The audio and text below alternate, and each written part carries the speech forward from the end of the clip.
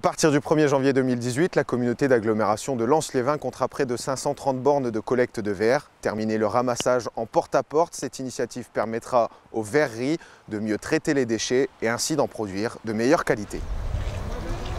Des dunes de verre à perte de vue, collectées au sein des agglomérations, des cases de brasserie ou des pertes internes. Ces tonnes de calcin représentent 94% de la matière utilisée par la verrerie Oil Manufacturing de Vingles pour produire des bouteilles en verre. Les 6% restants sont les matières vierges, sable, soude et calcaire.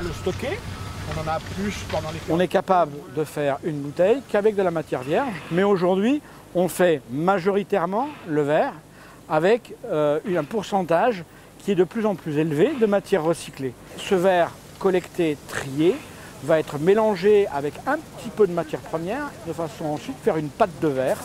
Euh, la partie grosse va repartir sur le Une fois cassé, le verre est calibré, puis trié plusieurs fois afin d'enlever l'aluminium, le métal, les céramiques ou encore les cailloux apportés avec le verre dans les bacs de collecte. C'est après quelques contrôles qualité que le mélange est enfourné. Ici, on est sur la partie enfournement, le mélange de matière première et de verre de récupération traité. Il est déjà mélangé et on le met dans le four en permanence de façon à maintenir un niveau de verre constant 24 heures sur 24, 365 jours sur 365. Ici, cette salle de contrôle, derrière vous le four.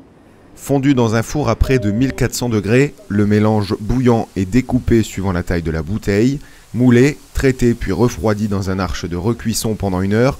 C'est à la fin de ce parcours que la bouteille est terminée. Les bouteilles maintenant sont euh, refroidies et on va pouvoir les contrôler. Qu'elles soient rondes, qu'elles aient suffisamment de verre, qu'elles ne soient pas fragiles et qu'elles ne comportent pas d'impuretés.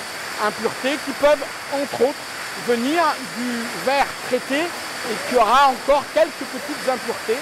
Et donc euh, c'est pour ça que c'est très important d'avoir une collecte de bonne qualité pour traiter ensuite correctement et avoir le minimum de petites inclusions après la fusion du verre pour faire nos bouteilles. Près de 2 400 000 bouteilles sortent chaque jour du four de la verrerie.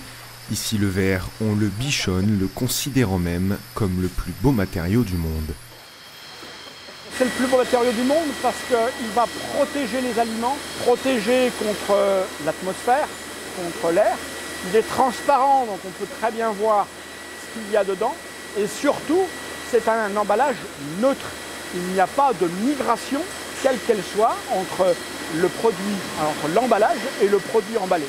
Aujourd'hui, si on a des bouteilles de vin, on va conserver 20 ans, ou 30 ans, ou 50 ans, c'est qu'il n'y a aucune migration chimique entre le verre. Après consommation, ces verres produits par la verrerie et manufacturing de Vingles seront une nouvelle fois recyclés. Une économie circulaire à laquelle participe la communauté d'agglomération de Lens-les-Vins grâce à ces bornes de collecte. Et quand le verre met près de 4000 ans à se dégrader dans la nature, trier ses déchets prend toute son importance.